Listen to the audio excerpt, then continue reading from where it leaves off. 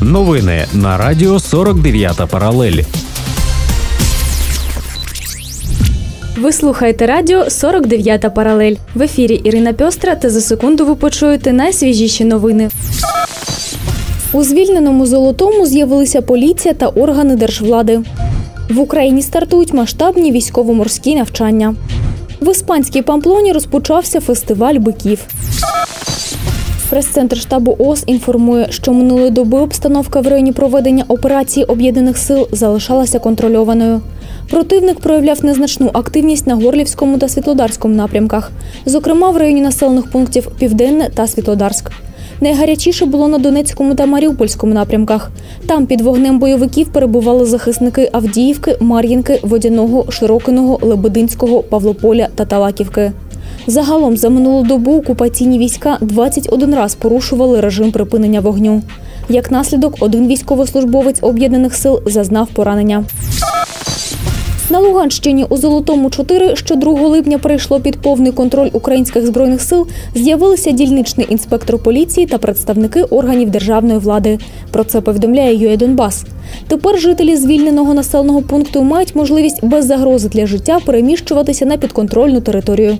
Варто додати, напередодні жителі Золотого, Катеринівки, Богуславського, Комишуватого та Оріхового звернулися із проханням подовжити час роботи КПВВ Золоте. Тож відтепер перепуск жителів у літній період здійснюватиметься із 4.30 ранку до 10 вечора, а у зимній період із 6 до 20 години. Сьогодні, 9 липня, в акваторії Чорного моря стартують міжнародні військово-морські навчання Sea Breeze. Про це повідомляє УНН. У навчаннях візьмуть участь військові із 17 країн світу. Протягом двох тижнів вони відпрацьовуватимуть різні завдання, серед яких припинення незаконної діяльності на морі, протидія в повітрі і під водою, десантні, а також пошуково-рятувальні операції. Для цього Туреччина направила до берегів України фрегат TCG Явуз і підводний човен TCG Єлдерай. Загалом очікується, що в цьому році військово-морські навчання охоплять північно-західну частину моря. В іспанській Памплоні розпочався тижневий фестиваль биків Сан Фермін. Про це повідомляє ZQA. Щодня розлючених биків випускають на вулиці міста, а тисячі людей втікають.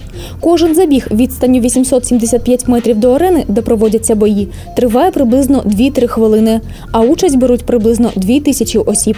Під час заходу чергують рятувальники Червоного Хреста, які готові допомогти пораненим. Зауважу, за час існування фестивалю Санфермін, який проводиться з 1910 року, загинуло щонайменше 16 людей. Останній смертельний випадок стався у 2009 році. Наступні новини вже незабаром на Радіо 49 паралель.